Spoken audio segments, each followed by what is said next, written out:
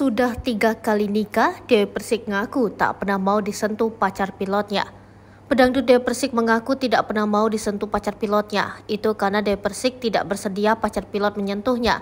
Menurut Dewi Persik, hal itulah yang membuat pacar pilot Ruli ngebet ingin segera menikahinya. Bukan karena matre menginginkan gaji pilot yang mencapai ratusan juta, Dewi Persik membeberkan alasan Ruli segera ingin menikahinya. Dia Persik percaya diri karena bagian tubuhnya yang menimbulkan daya tarik bagi Ruli ingin untuk segera menikahinya. Dia Persik ungkap alasan Ruli ngebet nikahinya singgung urusan ranjang. Awalnya dia Persik menepis tuduhan yang menyebutnya meminta gaji sang calon suami yang diklaim mencapai ratusan juta rupiah per bulan. Menurut mantan istri Angga Wijaya ini, perempuan tidak pantas untuk meminta uang pada kekasihnya. Apalagi status mereka juga baru berpacaran dan belum sah menjadi pasangan suami istri lantaran ingin menegaskan bahwa dirinya bisa menjaga diri. Dewi Persik mendadak bercerita calon suaminya itu pernah berkeinginan untuk menyentuh bagian sensitif sang biduan.